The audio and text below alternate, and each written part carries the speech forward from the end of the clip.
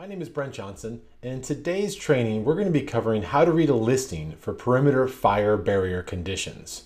This is one of the most complex type of fire stop listings that you're going to be faced with as a reviewer, inspector, or installer. With that, we want to take a couple steps to make sure you understand how much goes into these listings, where to find the information, and hopefully how to read it more clearly to do your job more efficiently. So today's training brought to you by the International Firestop Council is going to focus on curtain wall or perimeter fire containment uh, fire stop systems. Real quickly, I want to take one step to show you that you can find listings from laboratories on their websites or the manufacturer's websites.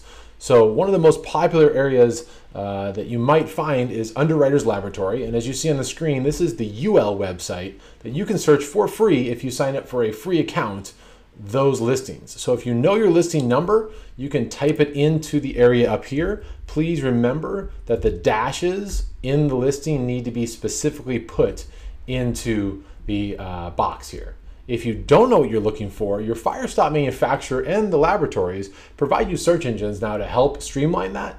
Uh, still can be a bit confusing because Firestop listings are so specific and there's a lot to them and there's thousands of them. But again, if you scroll down, you'll see all different types here. And if we go down a little bit further, you're gonna see there's a topic just perimeter fire containment systems. If I click that, it's gonna pull up all 226 listings that UL have in their directory. Now, UL is one of multiple laboratories like Intertek that might also have ASTM E2307 testing. In this case, we're going to focus on UL, but you can see on the left, you can search by manufacturer, you can search by joint width, ratings, L ratings, uh, and even keywords. So if you know some of that information, you can try to lower that number down. So if I know I have 3M product, hey, I'm going to go to these five listings and I can search through these areas. I can then also uh, scroll down and kind of review them. This is the actual listing from the UL website. And if I'd like to have it, I can email it or print it to myself as you see on the screen here. So uh, kind of an easy exercise. You just need to sign up for a free account and this UL Product IQ is the place to go to. Uh, I save this uh, location and I use it often in my consulting job. So uh, that's kind of the resource that we'll start with so you have that as an option. Back to today's exercise though, I already pre-plugged one of these in and I'm gonna go with a listing called CWD 1017. Well, the nomenclature, there's a whole different educational program on that, but that's gonna be a curtain wall dynamic and a 1000 series system uh, verifies off the joint width size. So what can I find in this information and how do I read them clearly?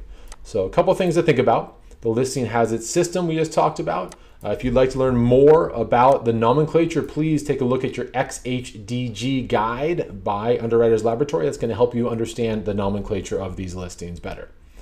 The F rating and T ratings and L ratings, other ratings are all provided here at the top of the page like other listings we're used to. A couple things to remember.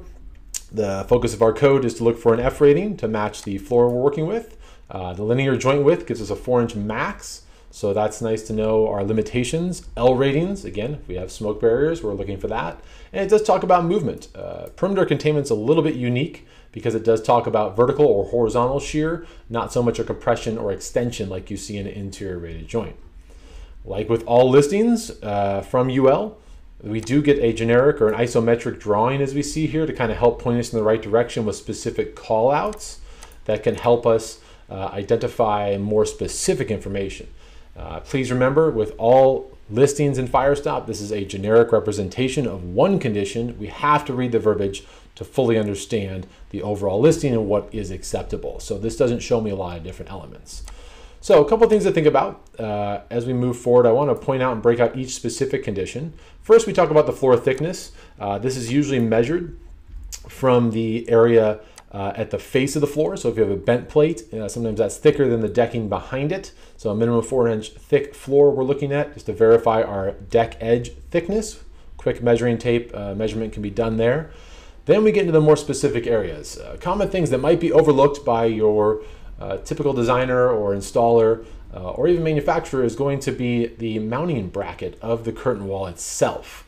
So there are all specific elements of the assembly are going to be listed in this listing. I cannot tell you that one is more important than the other. So many people just focus on just the fire stop spray. My focus is we're all going to have equal elements here. We need to check each box off to make sure it 100% matches what I'm looking at in the field or during plan review. So curtain wall mounting bracket. Uh, a couple things to think about here. I'll go back to the PowerPoint as I back around. This is an example from the outside of a building uh, of a curtain wall assembly with typical spandrel panels, uh, aluminum mullions and transoms, and a concrete floor over metal fluted deck. How, how is this assembly attached to the floor? Remember, the floor is rated, the facade is not. So a basic step we want to think about asking ourselves early in the job is how does it attach? These are some examples of mounting brackets. Many times we see them attached to the top of the floor. On the left side of the screen, you see an example of a face mounted and then also an undermounted potential uh, mounting bracket. All different ways. I've seen it even on uh, below the floor, uh, off of beams and other elements. So figuring out what this is and then going back to the system is going to be a good first step.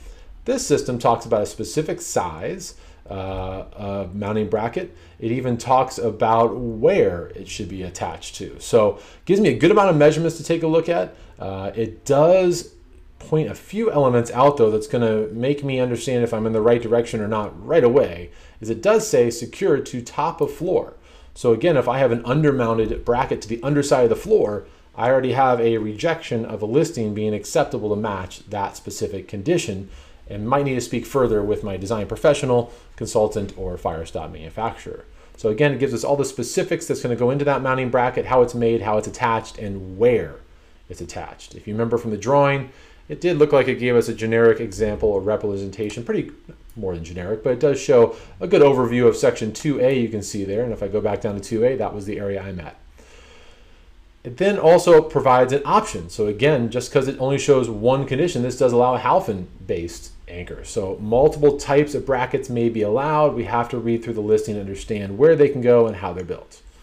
The framing is going to talk about the overall assembly. So if I go back to that photo I had before, a couple key terminology I want to make sure we, we take home from this is not all curtain wall assemblies are made in this type of construction, but a common terminology is mullions, meaning the vertical aluminum element here is called a mullion. And as you can see, it goes, oh, it's repetitive throughout the building with different spacings, as well as a transom. So the transom is the horizontal element here we see, the horizontal aluminum going across.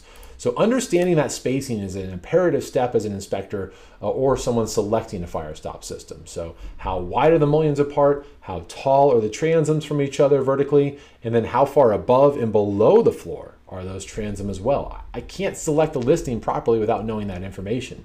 And as many of us know, throughout the building, it's not going to be a rectangle that's the same all throughout the building. It's going to have all different shapes and sizes, uh, most likely on the more unique building we get. So if I go back to that listing, uh, let's just read through what it allows. It will give me a specific size and a width and a depth. It will also even give me a thickness of the aluminum. So again, understanding, we need the curtain wall shop drawings to understand what's allowed. Uh, the mullions, the vertical element, are spaced max 60 inches on center, so no wider than 60 inches. Now this sounds simple, but uh, as someone who does a lot of curtain wall fire stopping design, we see design professionals really trying to expand that region, and we might see over 60 inches. So again, over 60 inches, non-compliant. Then it talks about uh, the transoms. It will say the interior face mullions to be a max four inches from edge of floor assembly. Okay, that was our joint we talked about at the top of the page. Transoms to be spaced a minimum 24 inches on center. So again, that means we can have no more than 60 inches across, 24 inches tall as a minimum on the transom space and say at least have to be 24 inches. So we see a lot of floor to ceiling windows being designed now. Well, this listing would not allow that floor to ceiling window if the transom to transom spacing is less than 24 inches. So I see 10 inches, 12 inches, some very shallow transom spacing. The minimum height of the top of the floor to the bottom of the vision panel sill is zero. So this allows the transom to sit right here at the in line with the floor line. So a very unique option, which is very user friendly to a design professional to allow lots of glass, lots of window and visible space but you see there are limitations. On top of that, well, Brent, if the window transom's higher, isn't that better? I'm getting more protection. Well, you can see the maximum height of top of floor to the bottom of the transom is three inches. So yes, this allows the transom to be at the floor line, but no higher than three inches above the floor. More than that, different listing. So you can see how specific how the window system is built relates back to the Firestop listing. So then we have to verify what our exterior facade is made out of. We see glass like vision panels, uh, aluminum sometimes, a spandrel panel is usually the glass, the opaque glass we cannot see through. So I had to verify what my facade would be. A vision panel would be the glass that we can see through. So a spandrel panel, usually can't see through it. Vision, we uh, can. Uh, aluminum and different types of uh, elements are shown here. If I have a back pan or a shadow box, we're seeing more of that in design these days. I don't see that listed here. Might not be acceptable. So the type of facade needs to be called out. Then we finally get to the insulation. So this is the curtain wall insulation, which would be the primary element within the spandrel panel. So if I go back to this drawing, we usually only focus our fire protection from the top, the transom above the floor to the transom below. So this is where our fire zone or that insulation primarily is applied per the listing. You may see insulation above and below this, but it might not most likely be required per the listing to be attached the same way. So we have to verify that within the listing as well. So minimum two inch thick mineral batt insulation faced on one side with aluminum foil scrim. Impasse horizontal angle hangers to install the insulation batt six inches from each mullion end and spaced max 16 inches on center across the window sill. So now we're getting pretty specific. It talks about a specific type of product, minimum two inch thick Firespan 90. So that's a specific Thermafiber Owens Corning 8 pound density curtain wall insulation, the Firespan 90. They have Firespan 40. Roxul, uh, Rockwool, IIG, other manufacturers also have similar type materials, but this listing is proprietary to that specific product unless the listing tells me otherwise. So I need to verify the type of insulation, the thickness of insulation, the density, and to make sure even the part number potentially matches up with what I'm looking at. So this listing again, contractor likes brand X doesn't mean it's going to work for every listing we can get into how the insulation is attached. Now, this listing is very unique because it's focused primarily on a proprietary product called an impasse hanger, which is made by Owens Corning Thermafiber, and it's only to their listings. Many listings will give you multiple options. Uh, this one is specific only to using an impasse hanger. So what I'm trying to stress here is, well, Brent, I love that impasse clip. It really saves me a lot of time and money. I always use it. Well, the listing needs to specify the attachment method you are going to use. So when I go to a different listing, it might talk about an impaling pin or a perimeter angle. That is not what I'm looking at on the screen right now. Just like this cannot use a perimeter angle or an impaling pin for this listing. So verifying the type of attachment method of our insulation is also an imperative step. So if I zoom out of my drawing here, these are common uh, examples where we see elements like an impaling pin, which is this element here to pin the insulation mechanically to these angles. We also see stiffener tees or hat channels to support the insulation at the floor line. You can see in both of these examples, there's what's called a stiffener. That's usually a few inches down or middle line of our safing in the floor line. So we're gonna kind of talk about that as well. And you can see the mounting bracket, when it's a face mount, it could conflict or get in the way of some of those required elements. So again, one thing to note is these impaling pins, as you see here, uh, I'm seeing a screw to the mullion and I'm seeing a screw to the angle. I'm not seeing any epoxy or glue or any sort of stick in this case. So please read the fine print of the attachment method because the majority of the time we're going to be screwing, fastening, or attaching mechanically to this non-rated facade. So this requires an uh, impasse clip. It gives me a certain on-center spacing of where they should go. It tells me a specific how many times they might have to go. In this case, only one impasse clip has to go in the vertical element because we have such a shallow potential height. Uh, it says, let's see, one impasse hanger is to be installed both in the vertical mullion sides of the insulation at six inches up from the bottom of the insulation batt. So it's exactly where to go. Pretty straightforward, but not very open to a lot of different options potentially for your project. So again, assuming the product holds the rating or it can just be used as I please around elements is not going to help us. We're following the listing. Impasse hangers are screw attached. So again, I don't see the word stick or epoxy or fast, uh, adhesive. To the top transom, impasse vertical hangers are screwed to the vertical mullions. And it even tells me on what specific fastener I need to use. On the lower transom, hey, no attachments required in that lower horizontal transom below the floor. So again, some listings might not require all four sides. So then the curtain wall insulation, it goes back to the specific of the FireSpan 90 product. Nominal 2 inch, we're seeing 3, 4 inch products used often to help with R values. Uh, it talks about minimum sizes, so I can't just cut a bunch of pieces. Uh, we usually will talk about vertical and horizontal seams. If we have a vertical seam or a horizontal seam, it's usually going to be defined in a listing. So vertical seams are usually a very big no-no. Uh, within this insulation, it should be pre-cut, pre-manufactured exactly for your project. Uh, if I ever see a vertical tape line or vertical seam, big red flag. Horizontal seams are usually only going to come into play if I have a stiffener uh, at the floor line like I showed you where we see a horizontal seam. It needs to be called out within the listing. So this one is a pretty specific size opening allowance. Um, it then talks about also how the insulation and mullion covers are going to be held in place. So this talks about that the mullions need to be protected as well. So what does that mean? If I go back to my drawing, we looked at a couple different examples of the attachment method. I'm now showing you that the insulation once installed, this is from the outside of the building, kind of looking at an example, using perimeter angle, and I can see all my screw patterns. Uh, and then the insulation from the inboard side would also potentially have a mullion cover when we finish. An example of a mullion cover, as shown here, is where the vertical elements are. We might need an additional piece of curtain wall insulation to protect the mullions themselves. So you can see the steps are the angles, insulation. You can even see kind of the, the uh, clinch pin here to hold that uh, impaling pin in place, that insulation in place. The mineral wool and safing goes in the floor line, and then the mullion covers. So we had kind of got ahead of ourselves with that photo.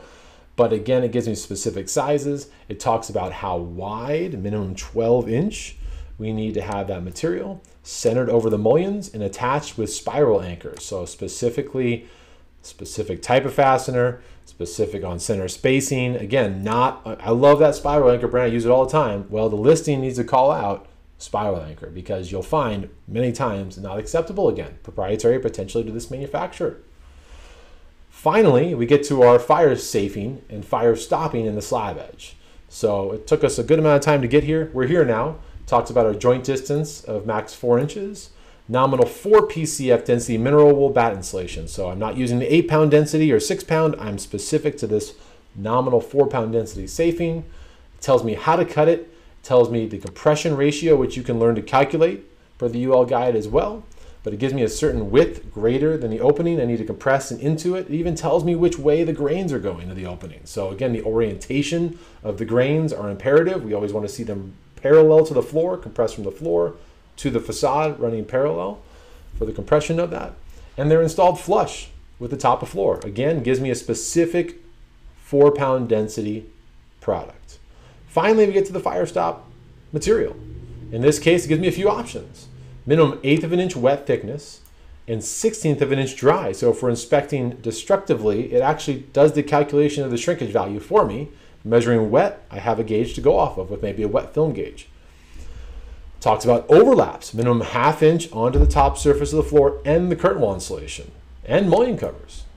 So you can see in my photo before, it looked like that listing allowed the spray to be done before the mullion covers. This one looks like the spray needs to overlap onto the mullion covers.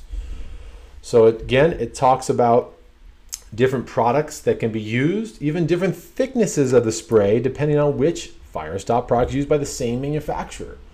It also even allows an alternative option. In this case, this manufacturer has a tape applied product with different overlapping and installation instructions and, and procedures. So listing is not always going to be proprietary to one product, but it could be to one manufacturer as you're seeing here. So we're doing just Owens Corning Thermafiber insulation and just 3M fire stopping materials. So with that, I hope you understand how much can go into one of these listings. This is one of hundreds of examples that are out there. Uh, you can see how complex, there are even more, much more complex listings than that. But the questions we should be asking ourselves is, how is the attachment done of the curtain wall to the floor? How is the measurements of the mullions and transoms and their spacing going on? How is my insulation attached? How, what is the insulation? Does it match? What about mullion covers? How are they attached? What materials? What's the compression ratio of our mineral wool and safing? What's the fire stopping materials and thicknesses and overlaps? So lots of questions go into just one listing that we could see used over and over again. If you're looking to learn more about other types of listed fire stop systems, take a look at firestop.org. The International Firestop Council has a video series like this of other topics. Additionally, if you want to learn more about Firestop as a whole, please take a look at their website. There's a large amount of free information found on firestop.org, uh, examinations for inspectors, a free reading list to really educate all individuals within this industry. Or feel free to reach out myself, Brent Johnson at Firewise Consultants, and we want to thank you for taking the time to attending this video. Thank you.